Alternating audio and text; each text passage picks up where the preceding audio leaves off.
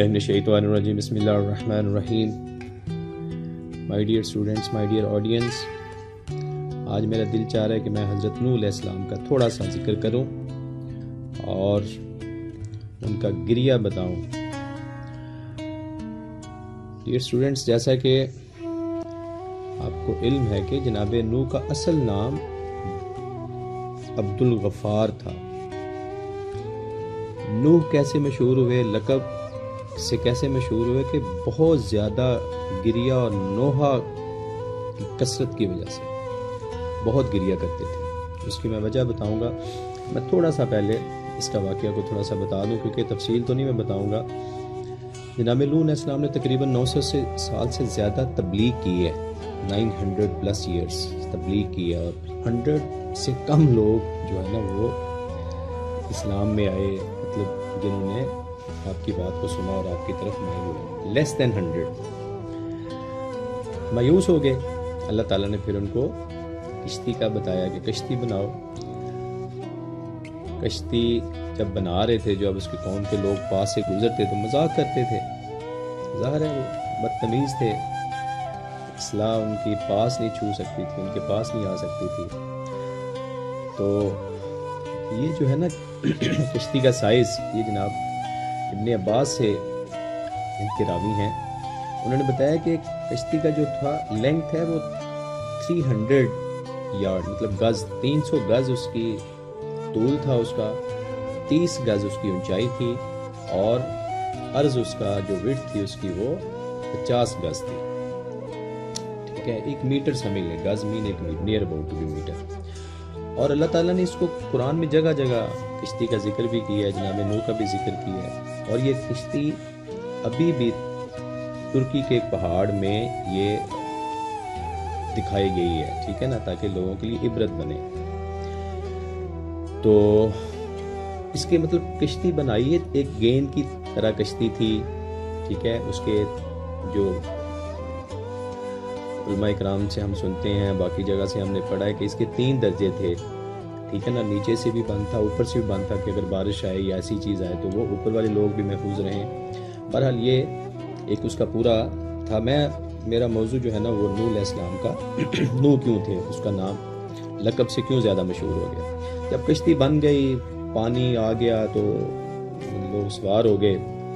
तो जनाब नूल इस्लाम ने जो एक दुआ कही थी, उसका मैं तर्जमा आपको पेश करता हूँ कि आपने फरमाया कि ये दुआ पढ़ें। अल्लाह ही के नाम से इस कश्ती का चलना और ठहरना है। यकीनन मेरा पालने वाला बड़ा, बड़ी बख्शिश और रहम करने वाला है। तो मौज सामीन मेरा मौजू पहले ये लकड़ी का काम करते थे, फिर अल्लाह ताला के हुक्म से ये तूफ़ान नू के बाद का भी मैं वाक़ बता रहा हूँ। जबरील जब आए तो उनसे क्या गुफ्तु हुई, वो मेरा आज का मौजू है।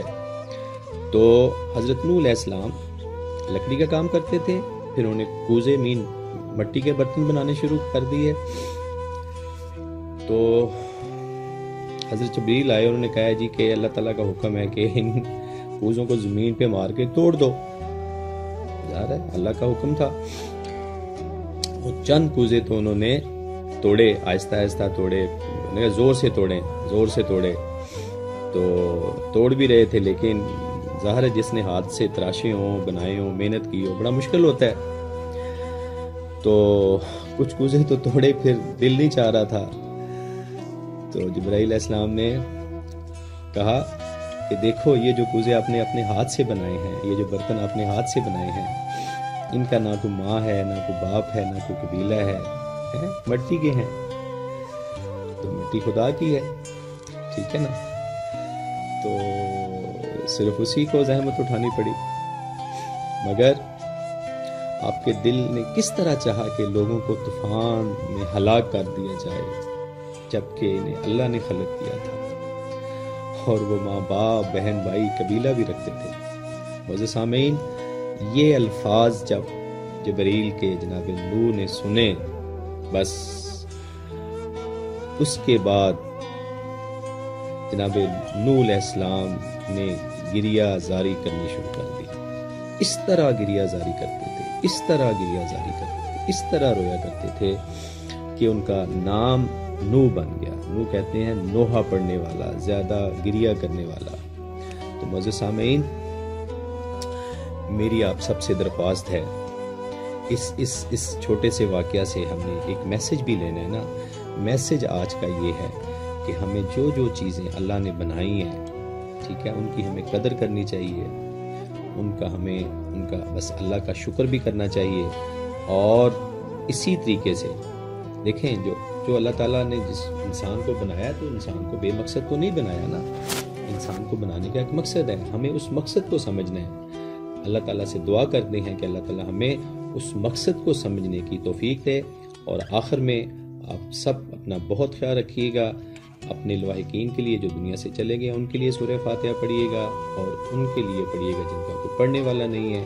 और आखिर में मेरी वालदा मोहतरमा के लिए सूर्य फातिहा की तलावत कीजिएगा। बस सलाम वरहमल वर्का